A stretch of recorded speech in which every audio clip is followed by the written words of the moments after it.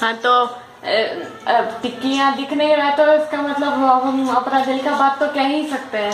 ऐसा खाना बनाया है कि ये सब चिप्स खा के हमको अपना गुजारा करना पड़ेगा। मैं चिप्स पे कितना ये सब मेरा खाना है अभी कौन खाएगा रे? ये मेरा डिनर है। तो जब तुम खुद नहीं खाएगा तो मेरे लिए बना दिया। जो मैं जो मिला है वो खा पचास रुपया किलो भिंडी है हाँ। ये सब क्या है? ये सब मेरे लिए है बकवास मत करना खाना